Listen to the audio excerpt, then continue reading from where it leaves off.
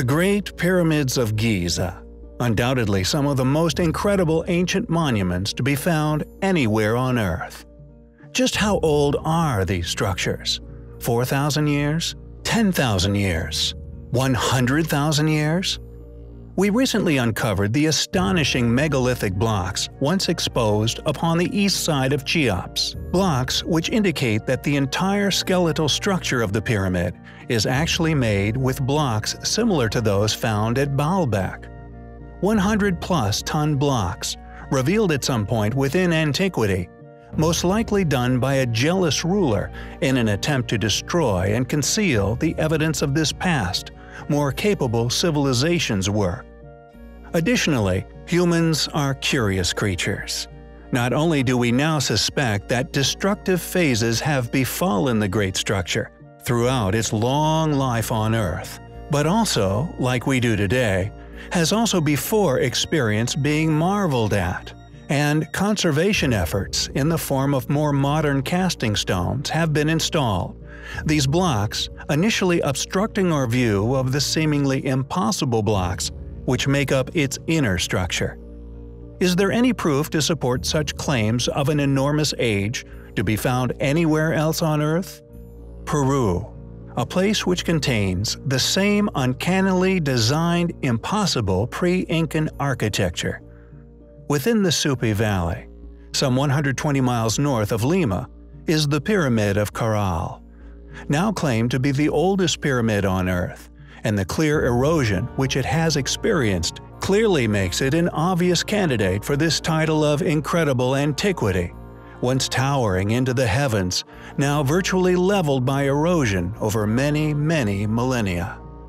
This site has clearly received no later attention by a capable or interested civilization, left to rot with the overgrown mountains of Peru. Yet it possesses such similarities in architecture with ancient Mesopotamia, China, India, and indeed Egypt is it now so unforgivable to suspect that all of these structures were actually built by the same civilization, at the same time within history? The only difference being that the well-known and documented Egyptian civilization later moved in on the specific pyramidal structures of Giza for power purposes, while the Inca focused in on the ancient architectural land terracing. Interestingly, and yet more compelling, Evidence supports previous hypotheses here on the channel. When Paul Kosok discovered Caral in 1948, it received little attention because it appeared to lack any historical artifacts, an unusual absence of any habitational evidence usually sought at archaeological sites. Could this be due to the sheer age of these monuments?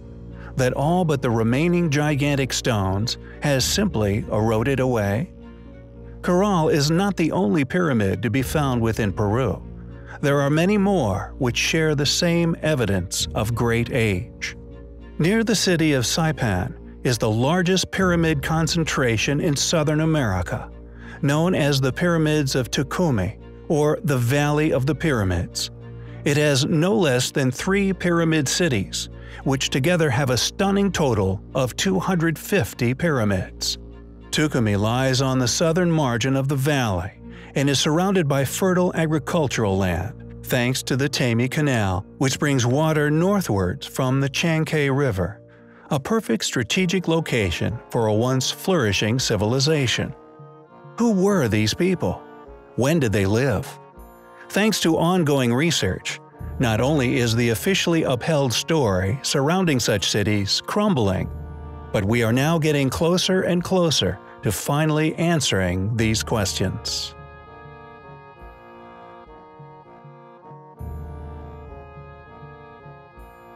The chronological dating of our technological development and capabilities within antiquity are often correlated and judged upon the developments within heat management of metal refinery.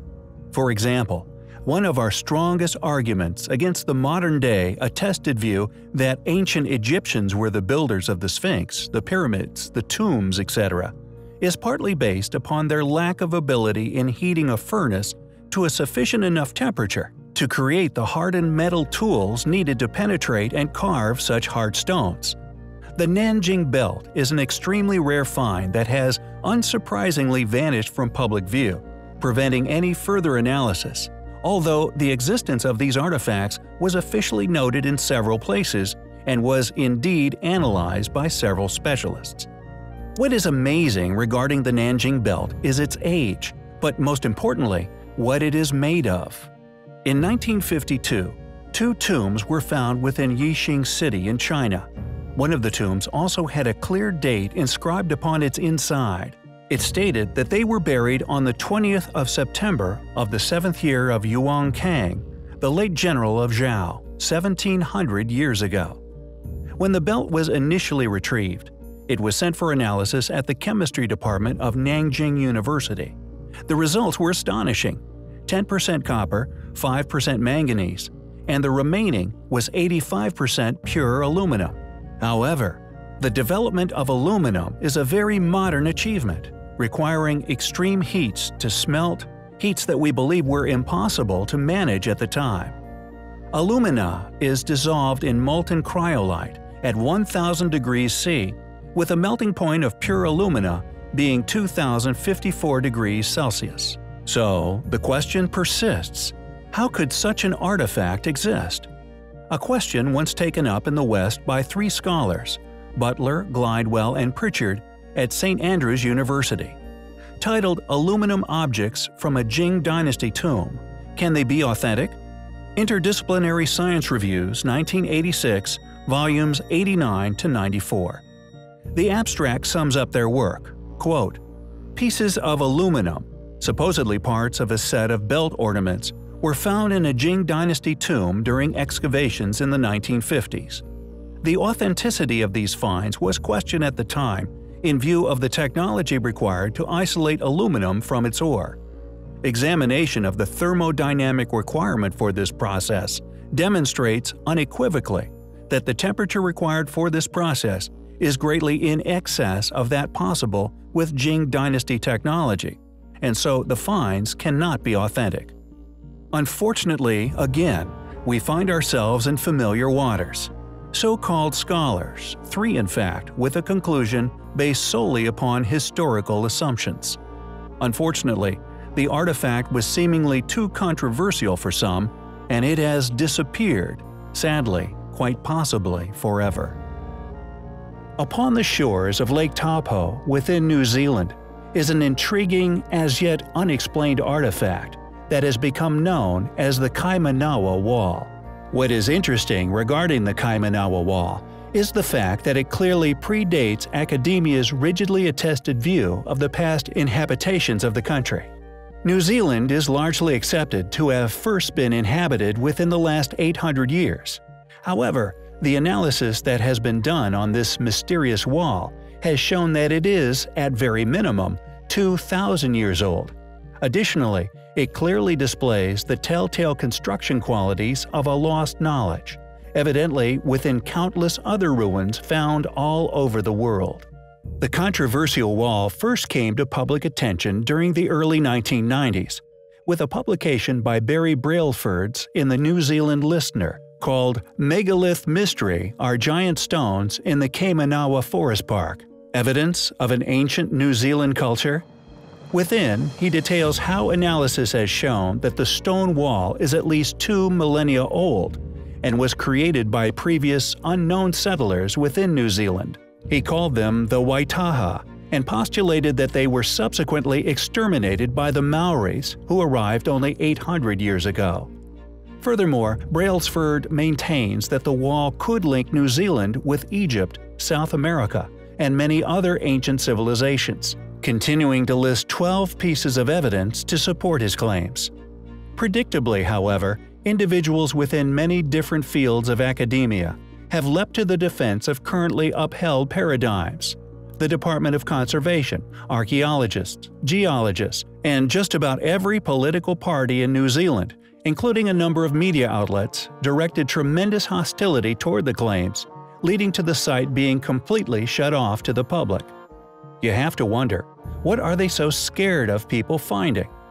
Regardless of Brailsford's evidence, A conclusion that the wall is nothing but a mere natural formation has been publicly peddled ever since the publication nearly 30 years ago.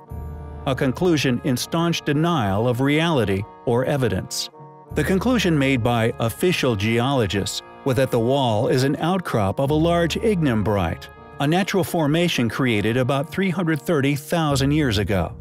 They claim that the block shapes were produced by fractures in the rock, attributed to earthquakes, volcanic eruptions, and other natural events. It seems scholars are quite happy to date such sites, but extremely reluctant to attribute any intelligent design within their creation. Could the Kaimanawa Wall really be a 330,000 year old man made wall? A wall built by the same people as many other sites found across the world? We find such possibilities highly compelling.